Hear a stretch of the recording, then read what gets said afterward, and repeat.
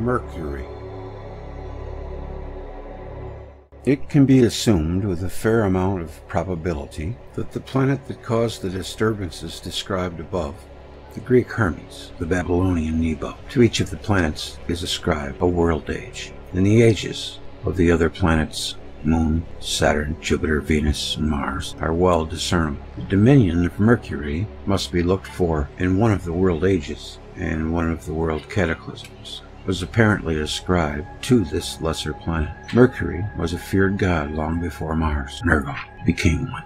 And one of the world cataclysms apparently ascribed to this lesser planet, Mercury, was a feared god long before Mars, Nergal, became one. As the name of Mount Sinai refers to Sin, the moon, so the name of Mount Nebo in Moab, where Moses died, was called already in that early time by the name of the planet Mercury. Later in the 7th and 6th centuries, before the present era, this god was much venerated, especially by the Chaldeans and other peoples of Mesopotamia. As the names of Nabopolassar and his son Nebuchadnezzar proved. in earlier times Mercury was known to the Sumerians as Enki. Equally pronounced was the position of Thoth, the planet Mercury of the Egyptian pantheon. The theophoric part of the name Tutmos for the northern peoples, Mercury, was Odin. It is characteristic that in many astronomical texts, Mercury, the Greek Hermes, the Babylonian Nebo, the Egyptian Thoth, is portrayed as the planet god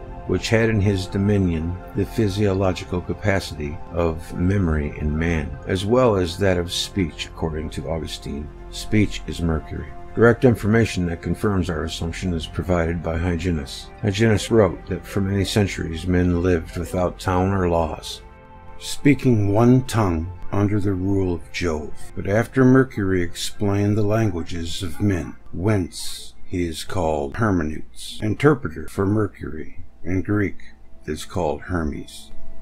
He too divided the nation. Then discord arose among mortals. The Romans as well as the Greeks pictured Mercury with wings, either on his headgear or at his ankles, and with an emblem, the caduceus, a staff with two snakes winding, the double serpent, caduceus, the emblem of Mercury, is found in ornaments of all peoples of antiquity. A special treatise could be written about this subject. I found the caduceus all around the world.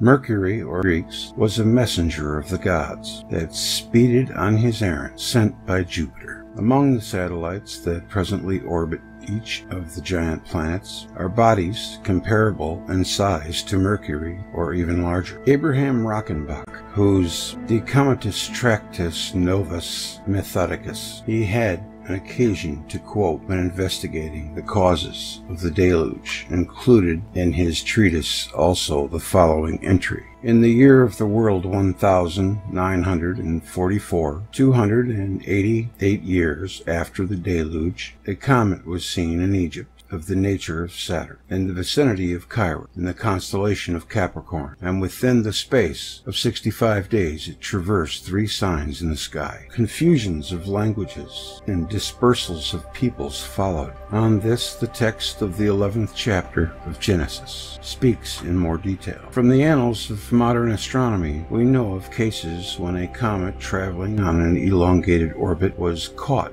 by the planet Jupiter, by which is meant the change of the cometary orbit to one of a short period, with the Sun in the focus of its orbit. It is possible to reconstruct planetary disturbances of that age with some approximation. In my understanding, Mercury was once a satellite of Jupiter, or possibly Saturn. In the course of the events which followed, Saturn's interaction with Jupiter and its subsequent disruption, Mercury was pushed from its orbit and was directed to the Sun by Jupiter. It could, however, have been a comet, and the entwined snakes of the caduceus may memorialize the appearance it had when seen by the inhabitants of the Earth. At some point, a contact occurred between magnetospheres of Mercury and the Earth, described in the traditions of various nations. That the Earth was once a satellite of a giant planet is nothing more than a surmise, but we dealt with it only as with a hypothetical construction, requiring further elucidation, but with a greater show of support derived from the, mytho- the mythological, folkloristic sources. And we have tried to demonstrate on the case of Mercury that once it had been a satellite of one of the giant planets and was directed by Jupiter closer to the Sun. The claim, therefore, is that Mercury has traveled on its present orbit for only some five or six thousand years. This view conflicts with both the nebular and the tidal theories of the origin of the planetary family, and with the assumption that the planets have occupied the same orbits for billions billions of years.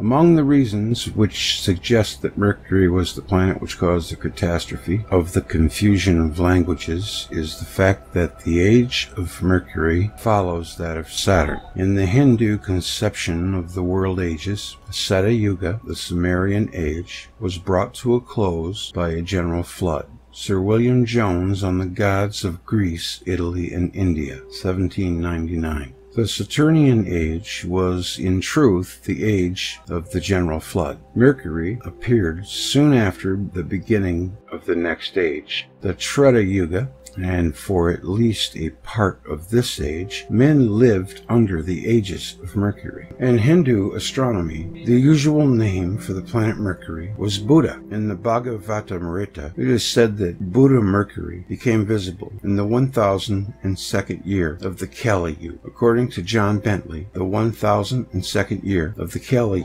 astronomical era corresponds with the 179th year of the Treta Yuga of the poets. Remarks on the principal areas and dates of the ancient Hindus. The Bhagavatamrita describes, in mythical language, the first appearance of Mercury. On the chronology of the Hindus, Jones also placed the ancient Buddha, or Mercury, about the beginning of the Treta Yuga.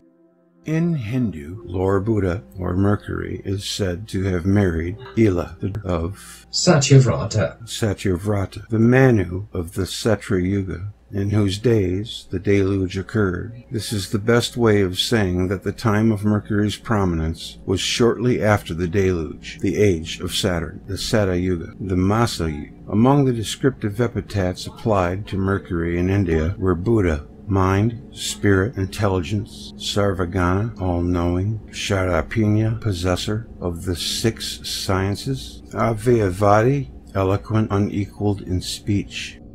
The presence of the god could induce forgetfulness. Nebo is regarded as the son of Marduk, or Jupiter. His chief cult center in Babylonia was Borsippa. Borsippa. Borsippa whose ziggurat or stepped pyramid was consecrated to Nebo. In the Talmud, the ruins of this structure were considered to be the remains of the Tower of Babel. It was of these ruins that our Dachanan is reported to have said a third of the tower was burnt, a third sunk into the earth, and a third is still standing. Talmud next quotes Rab as having said, The atmosphere of the tower causes forgetfulness. Nebo was also thought of as a herald of the gods, and as presiding over all matters pertaining to the intellect. The prayer of Ashurbanipal for Nebo, the perfect son, regulator of all things in heaven and earth, him that holds the tablet of wisdom, carrier of the stylus of fate, S. Langdon, Sumerian and Babylonian Psalms, 1909. The Sumerians believe that there was a time when all mankind spoke the same language, and that it was Enki, the Sumerian god of wisdom, who confounded their speech. So concluded S. N. Kramer after publishing his translation of a Sumerian epic fragment, The Babel of Tongues, a Sumerian version, the Journal of the American Oriental Society. The text of the tablet is translated by Kramer as follows The whole universe, the people, in unison to Enlil in one tongue, Enki, the leader of the gods, endowed with wisdom, changed the speech in their mouths, brought contention into the speech of man that until then had been one. The Sumerian Enki was the same as the Babylonian Ea. The name Ea was written with the ideogram Enki, E-N-K-I. Students of Babylonian astronomy were well aware that by star of the god Ea, Mercury is meant. Thoth and Hermes of Egypt, Oxford 1922. Diodorus wrote that when Isis took over the kingdom from Osiris, Hermes, i.e. Thoth, became her chief counselor. This means that the planet Mercury was prominent in the period after Jupiter replaced Saturn as the dominant planet. Diodorus also wrote that it was by the Egyptian Hermes that the common language of mankind was first further articulated. An Egyptian hymn calls Thoth the deity that made different the tongue of one country from another. Thoth is creator of languages. So that's why I always thought it was pronounced Thoth, like thought, because that's where the word thought came from. I know a lot of people call it Thoth. I still think it's Thoth. Another text tells that this god distinguished or separated the tongue of country from country. Another recounts that he distinguished the tongue of every foreign land. Kearney comments that the words made different or distinguished or separated are past participles, alluding probably to some lost myth or legend according to which Thoth differentiated the languages of the various countries. These epithets might even be cited as evidence of an Egyptian parallel to the Hebrew fable of Yahweh in the Tower of Babel. In Egyptian text, Thoth is called Lord of divine words and mighty in speech. From one aspect, he is speech itself. Thoth could teach a man not only words of power, but also the manner in which to utter them. The words, however, must be learned from Thoth. Thoth was also known as scribe of the gods, of the gods, and lord of books, the gods of the Egyptians, London, 1904. Thoth, the Hermes of Egypt, Oxford, 1922. In the dialogue, Phaedrus, Plato presents a story about the invention of letters by Thoth and explores some of the implications of this new skill. It will create forgetfulness in the learner's souls because they will not use their memories. They will trust to the external written characters and not remember of themselves. Um, see Tacitus Germania Yet above all they worship Mercury, and count it no sin to win his favor on certain days by human sacrifices. Oh boy. Odin was the head of the Nordic pantheon. A speech by Saxon envoys to Britain. We worship the gods of our fathers that is, Jupiter, Saturn, and the rest of those that rule the world. But most of all, we worship Mercury, whom in our language we call Vodin. Of Odin, it is said he spoke so well and so smoothly that all who heard him believed all he said was true. he was associated with Hugin, Hugin or thought, and Munin, or memory.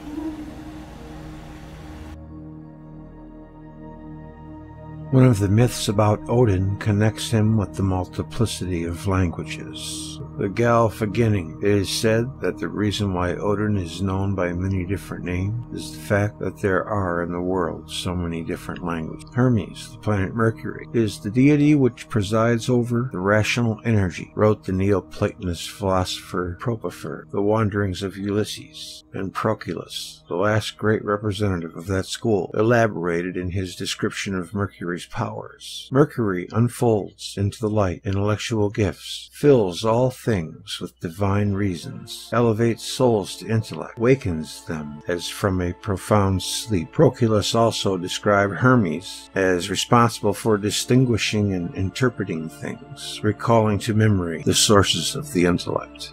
Thoth, an Egyptian hymn, assigns to Thoth control over man's mnemonic powers, invoking him as the deity that recalls all what had been forgotten the city of God's seven. Arnobius. Arnobius. Arnobius argued that Mercury is simply speech and words exchanged in a conversation. Paulinus Rhodes and Argonautica provide further details about Mercury's association with language. Here, Mercury is made responsible for the confusion of languages. The meaning is clearly that Hermes invented one language for one people another for another. The whole account reminds one of the biblical Tower of Babel, which we'll be doing next. The caduceus was an emblem of the Babylonian deity Ningishzida. Ningishzida. An astronomical tablet from Boghazkoy identifies Ningishzida with, with Nebo Mercury. Ancient Mexican codices portray the worship of entwined snakes Latin American mythology. Jupiter's satellite Ganymede is larger than Mercury, and Saturn's biggest moon, Titan, is almost as large. Homer, the Odyssey. Um, this was a long one. In Babylonian sources, the destructive acts of Nebo are recorded. The lofty one, furious, the word of him, causes the earth beneath to shudder. The word which in his glory he spoke. Waters have flooded the wide land. Babylonian Liturgies, Paris 1913. R.S. Harrington and T.C. Van Flandern our buddy Tom Van Flandern, a dynamical investigation of the conjecture that Mercury is an escaped satellite of Venus, Icarus 28, 1976.